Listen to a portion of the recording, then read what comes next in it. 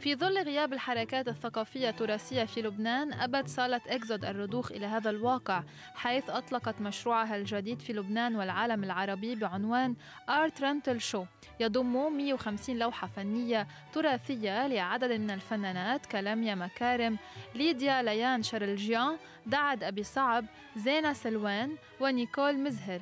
وحضره حشد كبير من الإعلاميين ضم مديرة الوكالة الوطنية للإعلام السيدة لور سليمان صعب إضافة إلى حضور عدد من الفنانين والمثقفين والمهتمين بهذا النوع من الفن.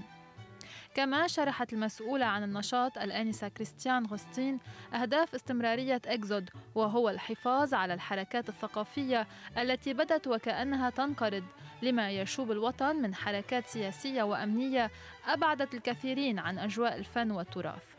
يستمر المعرض لغاية 23 كانون الثاني من الساعة الحادية عشرة صباحا ولغاية السادسة مساء ونهار السبت من الثالثة حتى السادسة مساء.